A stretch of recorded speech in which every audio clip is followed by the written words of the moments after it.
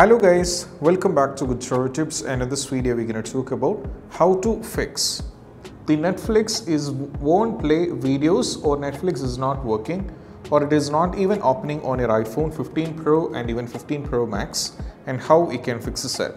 So whenever you're trying to open the Netflix it is not working then how you can fix this app so let's dive into the workaround. The first one is all about you have to make sure that you have to do a restart on your iPhone. So you have to do a force restart on your iPhone. So to do a force restart, we just need to press volume up followed by volume down and we have to press and hold the power button over here unless and until you see the Apple logo and that is what we have to do. So a force restart can fix a lot of issue so you can try or start with a force restart. Moving to the next one that is all about the second step that is all about we have to make sure that you're either connected to the internet either using the Wi-Fi or the cellular data. So if you go over here, you can see that I've connected to the Wi-Fi as well as I'm connected to the cellular data, which is very important. Be connected to the Wi-Fi or cellular data or else you'll be having the trouble. Third step is all about nothing but what we need to do is we just need to make sure the phone date and time should be correct. Just go over here in the settings. Now just go over here in the settings.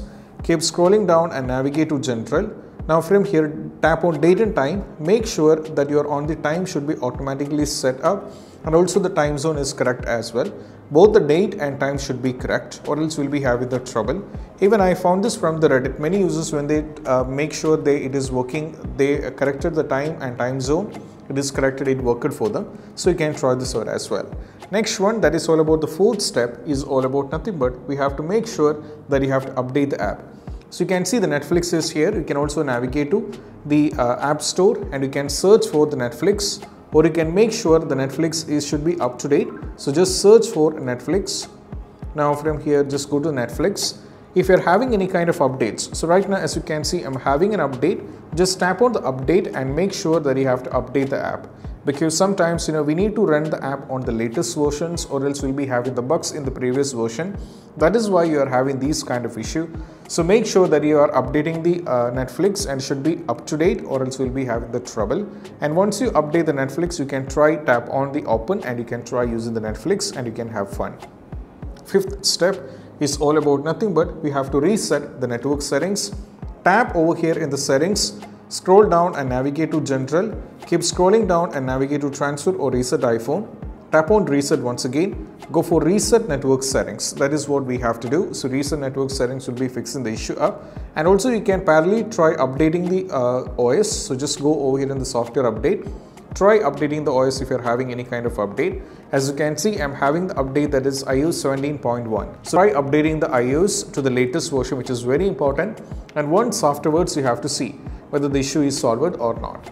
Even after trying with this, if the issue is still there, you can also try a few more steps. Then one among the very important step is all about, you have to check whether you are having any screen time restriction. That is why you will be having the trouble. So just make sure that you're not having this. So tap on settings over here. Now from here, we just need to tap on screen time. Now from here, what we need to do is we just need to keep scrolling down and go to content and privacy restrictions.